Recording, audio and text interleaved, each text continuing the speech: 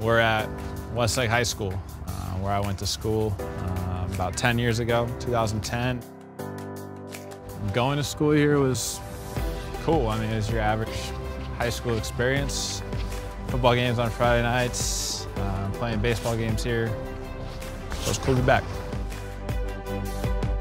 It's a pretty common dream and goal is to play pro sports, whether it's baseball, basketball, football, whatever it may be. Um, as a kid, I had that dream. All my friends had that same dream. You know, it was here when you were just playing with your buddies for fun. Trying to make the team freshman year and then having a chance to go pro four years later as a senior. Pretty cool that a lot of it just started right here. I didn't know I was ever going to play in the big leagues until probably the year before I did. You know, I was a first round pick and all that, but at the end of the day, that doesn't mean anything either. That just means that's where you're drafted and now you're in the minor leagues like everybody else. I don't know if I ever knew that I'd play at an MVP level, but once you get there and you know you're capable of it, then that's the standard and that's what you hold yourself to.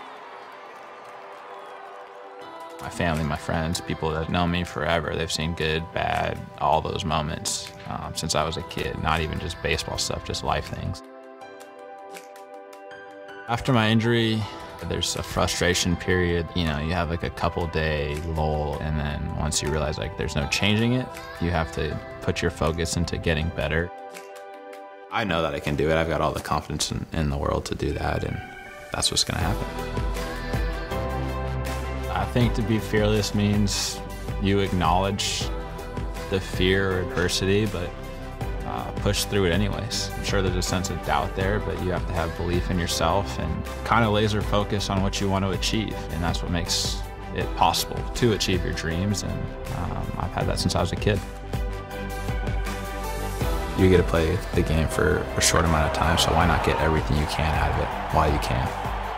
I think you'd be cheating yourself, the game, the fans, the team, the organization if you didn't have that drive and you didn't want to be the best version of yourself.